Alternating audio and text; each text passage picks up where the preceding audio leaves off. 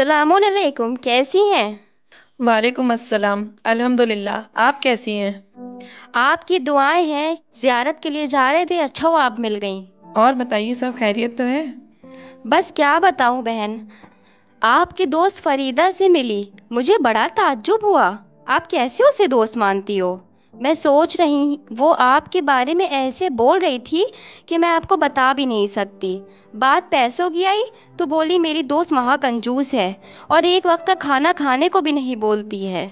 صحیح بتا رہے بہن جھوٹ نہیں بول رہے ہیں سچ بولتے ہیں ہم۔ اچھا ایسا بولی وہ؟ اس کا منہ تم نے دیکھا ہے کیسا ہو گیا ہے؟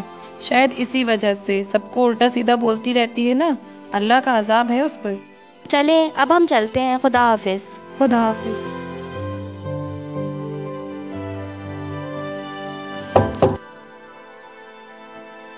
السلام علیکم۔ وعلیکم السلام۔ کیسی ہو؟ بس صحیح ہوں۔ آج ایسی بات میں نے سنی کہ آپ سنو گی تو تعجب ہوگا۔ کیسی بات؟ ایسی کون سی بات ہو گئی؟ آپ جس کے گھر ہر ہفتے جاتی ہو اور جس کے ساتھ زیادہ رہتی ہو وہی آپ کے منہ کو بولی کہ اللہ کا عذاب ہے۔ وہ ایسے نہیں بول سکتی ہیں۔